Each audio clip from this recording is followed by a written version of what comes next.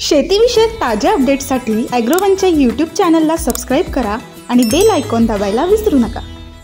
नमस्कार मी धनंजय सानप. ॲग्रोवनच्या हवामान अपडेटमध्ये तुमचं स्वागत. राज्यात उन्हाच्या चटक्यामुळे कमाल तापमानात वाढ कायम आहे. उत्तर महाराष्ट्रासह राज्याच्या काही भागात थंडी असली तरी किमान तापमानात हळूहळू वाढ होते. सोमवारी म्हणजे वीस फेब्रुवारी रोजी सकाळपर्यंतच्या चोवीस तासांमध्ये अकोला येथे राज्यातील उच्चांकी अडतीस पूर्णांक आठ अंश सेल्सिअस तापमानाची नोंद झाली. तर निफाड येथील गहू संशोधन केंद्रात निच्चांकी आठ पूर्णांक दोन अंश सेल्सिअस तापमानाची नोंद झाली आहे. कमाल तापमानात वाढ झाल्यानं यंदा फेब्रुवारी महिन्यातच उन्हाळ्याच्या झळा अधिक तीव्र झाल्यात. शनिवारी म्हणजे अठरा फेब्रुवारी रोजी सकाळपर्यंतच्या चोवीस तासांमध्ये रत्नागिरी येथे फेब्रुवारी महिन्याचं गेल्या दहा वर्षातील उच्चांकी एकोणचाळीस पूर्णांक चार अंश सेल्सिअस तापमान नोंदवलं गेलं.